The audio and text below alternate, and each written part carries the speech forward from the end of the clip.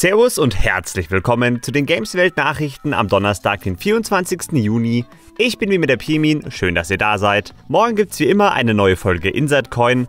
Die Themen heute: neue Spiele im Xbox Game Pass. Darum hat Halo Infinite noch keinen Release-Termin. Aliens Fireteam hat einen Release-Termin und neuen Namen. Und noch ein Gerücht zum Abschluss. Dragon Age 4, da soll anscheinend eine Alpha-Version im Juli geplant sein. Wenn ihr auch in Zukunft immer auf dem Laufenden bleiben wollt, dann abonniert doch gerne unseren Kanal und drückt jetzt auf die Glocke. Viel Spaß mit den News.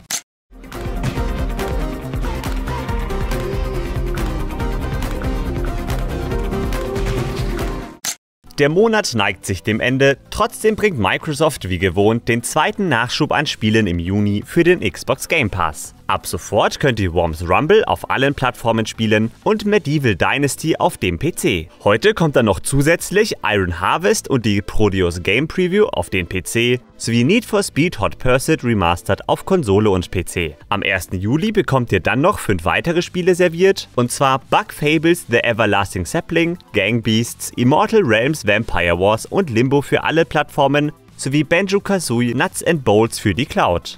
Am 30. Juni hingegen verlassen dann auch wieder wie gewohnt 8 Spiele den Abo-Service. Halo Infinite ist wohl der Microsoft-Exklusivtitel, auf den die meisten warten. Auf der E3 hat man einiges zum Sci-Fi-Shooter sehen können, was man hingegen nicht sehen konnte, ist ein genauer Release-Termin. Bis jetzt heißt es bloß offiziell Herbst 2021. Warum noch kein genauer Termin genannt wurde, verrät nun aber Xbox-Chef Phil Spencer. Zwar hat das Team von 343 Industries offenbar schon ein Zeitfenster von drei bis vier Wochen im Visier, wolle aber trotzdem noch andere Erscheinungstermine von anderen Spielen in diesem Zeitraum abwarten. Man hätte auf der E3 schon einen Termin nennen können, wolle im Nachhinein Halo Infinite aber nicht verschieben müssen. Damit möchte man wohl vor allen Dingen der Shooter-Konkurrenz wie Call of Duty aus dem Weg gehen. Das ist durchaus verständlich.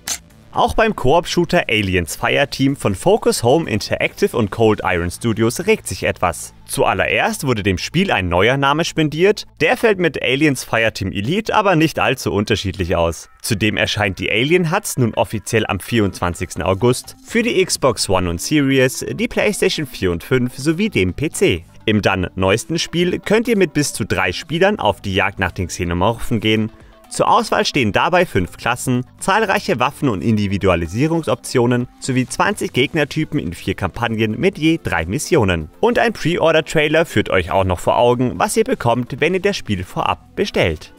Electronic Arts ist der E3 wie gewohnt mal wieder größtenteils ferngeblieben. Das hauseigene EA Play Live Event fand allerdings nicht wie gewohnt parallel statt, sondern wurde in diesem Jahr einen Monat nach hinten auf den 22. Juli verschoben. Spiele, die dann von vielen erwartet werden, sind etwa Battlefield 2042, wo ja schon an der E3 was zuzusehen war, und FIFA 22.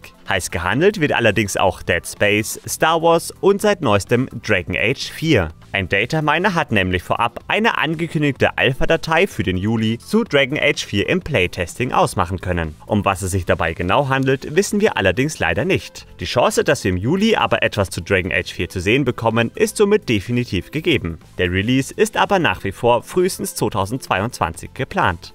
Das war's wieder mit den Gameswelt-Nachrichten für heute. Wir hören uns dann morgen hoffentlich pünktlich um 19 Uhr nach InsertCoin wieder. Bis dahin, macht es gut. Ciao.